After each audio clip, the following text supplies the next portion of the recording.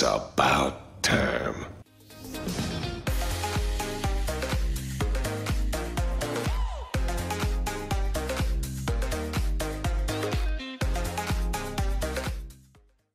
One of the oldest film industries from India is the Odia film industry that produced its first film all the way back in 1936. With brief stints of productions leading up to the 50s, the Odia film industry would see some praiseworthy work that would garner national attention. When one thinks about this film industry currently, however, many people think about several of its problems, not really standing out and making a mark for itself as it did previously. Upon a conversation with several people who have been avid watchers or observers of cinema coming from Odisha, they told me about the downfall of the industry is a combination of several facets. Some of them include the obsession of remakes, especially of Telugu cinema, the lack of effort done in capturing the socio-political aspects of the state that people can relate to, and the poor technical qualities of films that look like quick cash grabs rather than a genuine effort made in the craft of storytelling. Before I even get into the film, the Odia subscribers also do write down in the comments below just so that one gets educated on the same of what's been the most frustrating aspect from cinema from Odisha in recent years and what have you as viewers most struggled to deal with in this slump.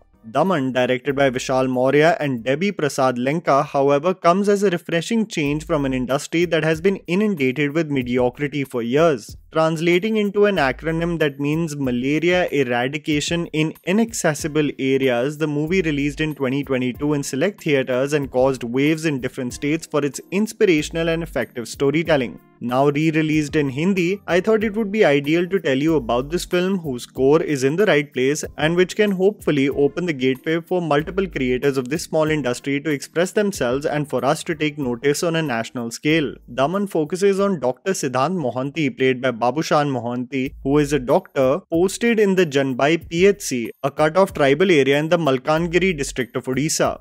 The posting occurs due to a state ruling where doctors from government courses have to serve at least 3 years in tribal or rural areas upon completing their MBBS. Think of it as a Jitu Bhaiya from Panchayat situation where reluctantly they appear in a new setting absolutely away from the comforts of their previous life. The film explores the 151 villages under the area, the Naxal influence that acts as a threat, the superstition that persists amongst the population, and the goal of the doctor of spreading basic education on healthcare and diseases with the help of his aide, a pharmacist played by Dipanwit Dashmohapatra the hurdles he faces in effectively communicating and helping out a population that is stuck in its dated ways of living and how he integrates himself into their life, almost becoming a messiah of sorts for them due to his contribution, forms the basic premise of this humble yet impactful film. Right off the bat, I have to say that this movie is basic in its form, which is not a demerit in any way, but something that I have to convey to you so that you manage your expectations. The film is linear in its storytelling. Its several key plot points almost appear in the screenplay like actors in a one act play rather than a seamless progression of events in the screenplay and the emotional beats of the film can be seen from a mile away. This is to basically tell you that the narrative doesn't hold any surprises, but also to tell you that this feature doesn't discount the fact that the storyline still packs the punch, getting its point across. Despite having a grey undertone and some jarring color grading, the film inspired by several contributions made by doctors in the tribal and rural regions of Odisha, especially Dr. Omkar Hota, is a testament to how active and persistent empathy and work can cause change. The dam built in the state has cut off several areas from basic amenities, and this seclusion has reduced them to believing whatever they are fed in that cocoon. The Hindi version of Daman actually enhances its emotional quotient due to the integration of music composed by Gaurav Anand. The track Ekla Chale Re, sung by Javed Ali, and Koi Hai Kya, sung by Abhay Jodhpurkar, really enhances the film's narrative. The visuals of the film immediately made me reminisce of some of the frames of Swades, where Mohan Bhargav embraces the confined spaces in which the dense population resided and persisted. Individuals on top of each other to get their basics in check in a train or on a boat. Siddharth embodies the very same feeling of what represents rural India, fending for themselves every day despite the circumstances. This is further heightened as Siddharth appears in Malkangiri. The dilapidated buildings, the worn out colors, the consistent annoyance of mosquitoes, it all represents aspects he wants to run away from, but something pulls him back, and that essentially becomes the core of this film. The lack of basic needs being fulfilled for such a large population that eventually just becomes a statistic becomes a priority for Siddharth, and this leads to several poignant moments as he understands the social responsibility that comes with being a doctor and a human with basic empathy. The regret of missing out of his peers having it better than him becomes secondary as Siddharth embarks upon this inspiring journey for the people.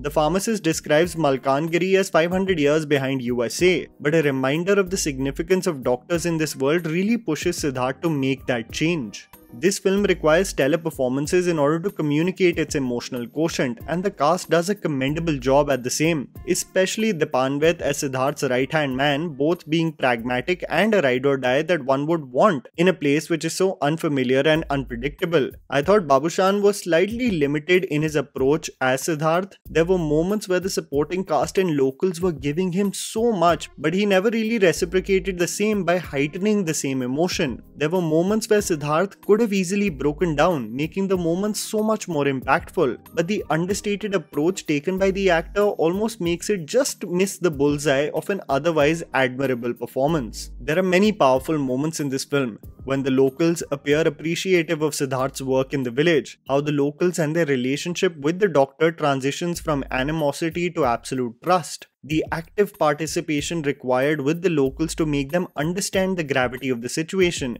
and the bureaucracy that one has to undergo and circumvent to get the basics for the people in this country right.